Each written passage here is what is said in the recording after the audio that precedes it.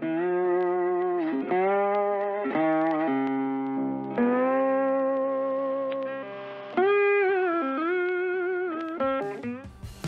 everyone, welcome back. We're back where we were before September, still doing a bit of log work here. Now this is up in the old plots, up around the cattles. To do something with the wood, I decided to buy myself a new facility. So this is kind of like a sawmill thing, but it makes uh, pallets of planks and stuff like that. So I needed to clear a little bit of space, take down some big trees, get all this stuff in here, and ooh, 19,000 litres of wood, but you hold a lot of wood in there. So that's good though, because uh, I need to start doing something with these trees. A load of milk going out as well. I'm going to sell this one straight down there. I think this stuff should bring in fair decent amount of money, about 20, 20 odd thousand in this. Um, what's that? Yeah, 20, nearly 25,000 by the time you add in the environmental, so that's a good one for a load of milk. And then into the fields doing a bit of spray work as well. We see this new John Deere sprayer doing very nicely They're only spraying on the weeds, and we're rained off almost straight away. Typical, just wanted to get in and get some work done. So whilst it's raining, we'll go around and do a bit of pallet work as well. This little warehouse at the minute, I'm have to start looking for something better. I'm producing too much stuff now. It only holds 5,000 litres of each type and I'm maxing that out in too many things now. Don't know what I'm going to do, haven't got any other options at the minute, so it's just going to live, live outside.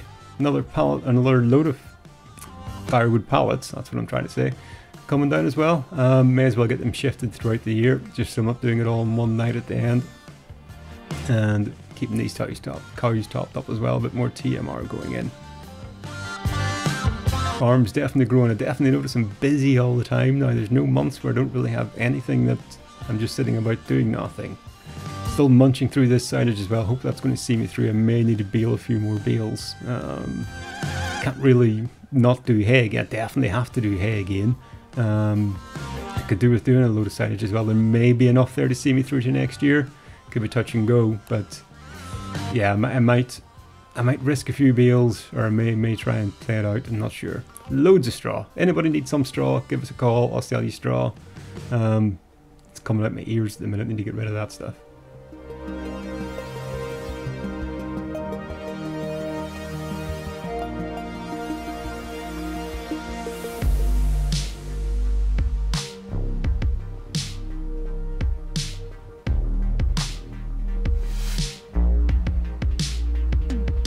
With that forage wagon loaded up, taking a few bales up to these cattle up here now as well. I'm pretty sure these will just disappear straight away.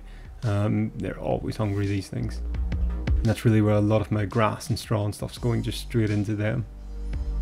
throw a couple of bales in for bedding here as well. It's really all I've got to do with this at the minute. I've got loads of manure sitting here as well. I should either start looking at buying a manure spreader or just selling it straight out too. Uh, keep keep building this stuff up. I haven't done anything with the slurry yet as well.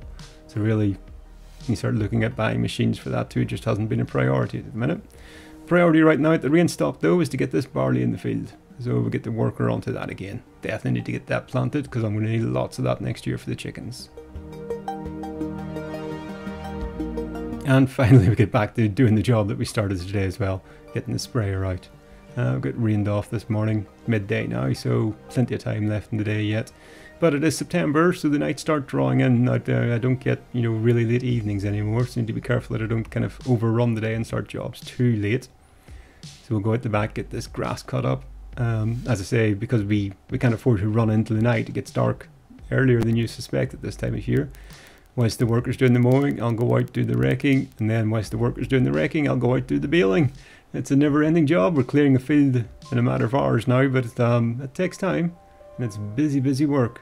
It's a big field this as well, and it's a lot of manual work, this baling and picking up and whatnot, so there's only so much the workers can do for you.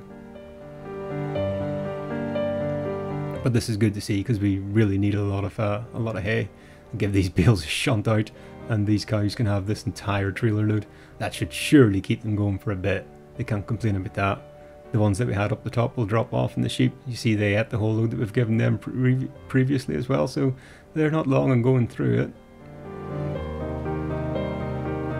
I don't know if things have been adjusted lately in this game, or do animals eat more grass now than they used to? It didn't seem like they needed this amount of stuff last time we played No Man's Land, but uh, maybe it's just I've forgotten how much grass we had to do before, but yeah, it seems to be now.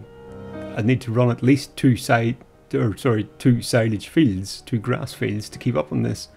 Um, yeah, I'm gonna have to look at really upping my grass production and changing mowers and stuff like that sometime. Ah, there we go, folks. I'm chatting about mowing grass, and that's our five minutes up for today. I hope you've enjoyed it. I've got plans for the future coming up. Big load of straw going in here. That'll get rid of some of that. We'll see you later, guys. Enjoy. Bye now.